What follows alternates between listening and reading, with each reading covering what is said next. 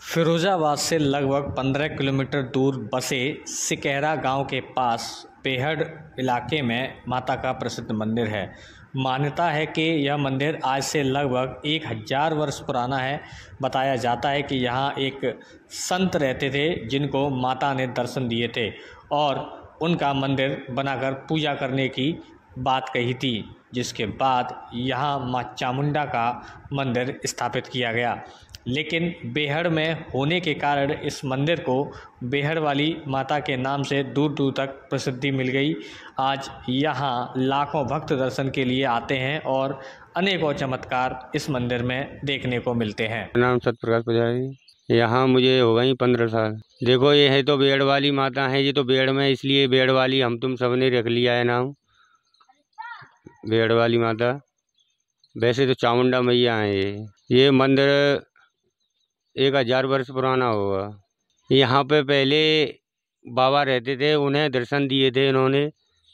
और तो इन्हें बोली थी कि मैं यहाँ पे हूँ, करीला के पेड़ में। फिर वहाँ से उठा के यहाँ पे स्थापना करी थी इनकी। पिलुआ का पेड़ था यहाँ पे।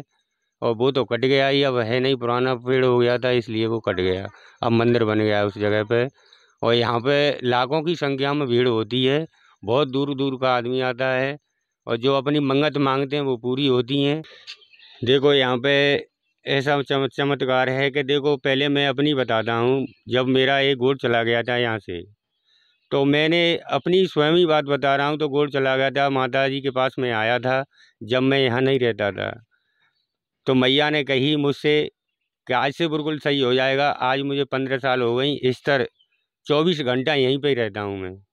और एक लड़का दूर का था यहाँ पे आया था, वो आँख से नहीं दिखता था उनको। तो पाँच शनिवार उससे बोले थे कि पाँच शनिवार आपको आना पड़ेगा। तो पाँच शनिवार वो, पाँचवें शनिवार तो उसकी आँखों में रोशनी आ गई थी, अपने हाथ से प्रसाद बांट के यहाँ से गया था।